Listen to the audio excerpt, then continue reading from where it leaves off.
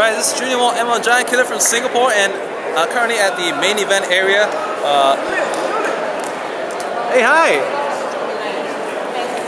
Nice to meet you.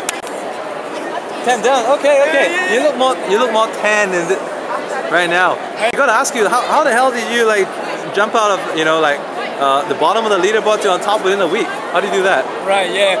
Intentions, man. I mean, one day I just snapped it. I, I saw the I saw the uh, the leaderboard, right? I mean, in the past event, I wanted to become, you know, top 200. Yeah. But I just wanted it. I didn't want it bad enough. I didn't have the intention. And so I sort of slacked a little bit. And so at this event, I saw the, the leaderboard, right?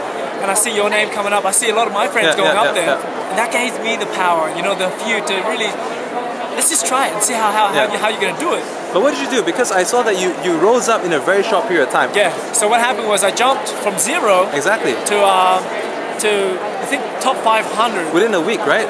Yeah, top 500, and then I got put down to 600, and I jumped up to 120, and then I jumped up to Uh-huh. top top 50. I'm at four, 43 right now. 43. Yeah, rank 43. Holy shit. Yeah, yeah, yeah. The last time, yeah, it's, it's like 100 and So, something. so what happened was, you know, I has gotta gotta thank this guy because we talked about events. You yeah. remember? Yeah, yeah, yeah. Yeah. So when I when you set an intention for something, right, and you really wanted it, what happened is the universe gonna look for look for for for for ways to give it to you. So for example, when you hear the word when they say when the when the student is ready, the master will appear. Yeah, yeah. That was it. Right. And I was ready. Suddenly, Julian came into uh, into my life pretty much. He came, he jumped on out to, onto our hangout, and I, I was about to do an event that night, I think. Uh-huh. And then um and then he he he's been doing events, so he gave me his two cents, and that brother took me because